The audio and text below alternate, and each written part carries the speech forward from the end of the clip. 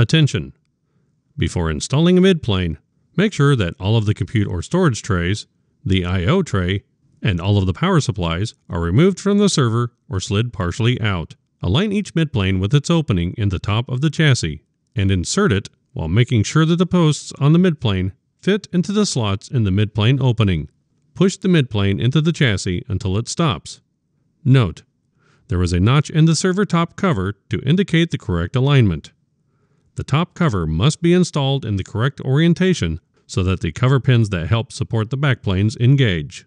Position the top cover on the server and secure it with 8 Phillips head screws. Install the upper compute tray. Install the lower compute tray. Install the power supplies. Install the I.O. tray. Install the front cover. Reconnect the cables to the rear of the server.